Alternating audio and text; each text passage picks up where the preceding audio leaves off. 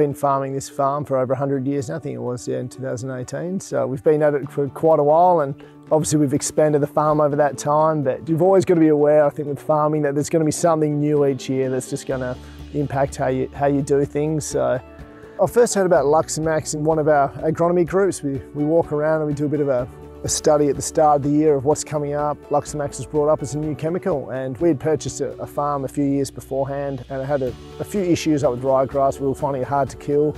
So we thought, oh, you know, we've got this new mode of action, let's give this a shot on, on one of our paddocks. And yeah, and it was, did a really good job. Yeah, so we, um, since 2020, we've, yeah, used it since then.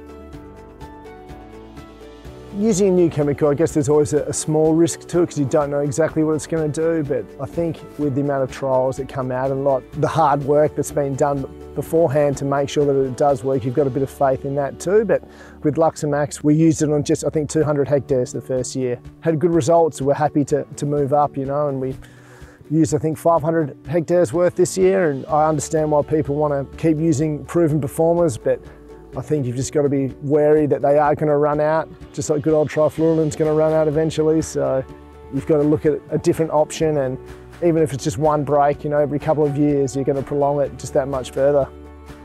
This year, you know, we made sure everything was sown under 30 mil, didn't have any issues at all. That was into wet dirt.